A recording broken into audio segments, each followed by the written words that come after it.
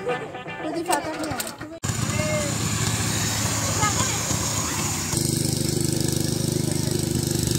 prodi teknologi hasil pertanian tidak hanya belajar alat uh, mesin pasca panen saja.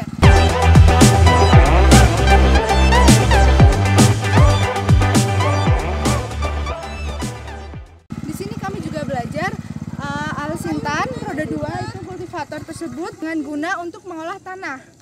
Di sini kami belajar dari uh, bagian-bagiannya, komponen-komponennya, uh, dari cara menghidupkannya hingga menjalankannya.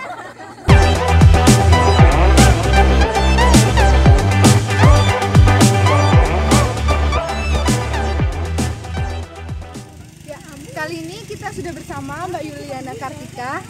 Ya, perkenalkan nama saya Juliana Kartika. Ya, Mbak Yuliana gimana perasaannya mau belajar kultivator? hari ini? Eh, ada tegangnya, terus senengnya, terus antusiasnya yang tinggi gitu karena ini tuh pertama kalinya saya